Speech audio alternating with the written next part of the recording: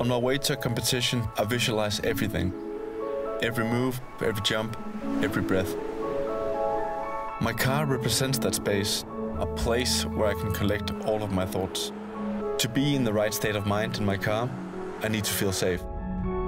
It's my calm before my storm. My drive has never really been to be the best, or to win.